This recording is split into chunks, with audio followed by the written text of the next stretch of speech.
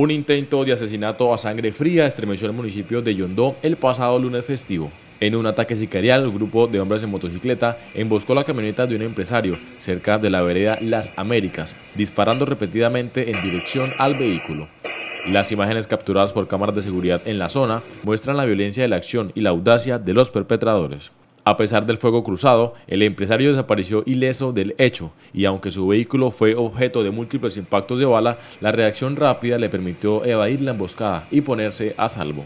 La investigación en curso busca determinar el móvil detrás del intento de asesinato e identificar a los individuos involucrados en el ataque. Se espera que las pruebas recolectadas, incluyendo las grabaciones de cámaras de seguridad, ayuden a esclarecer los detalles del suceso.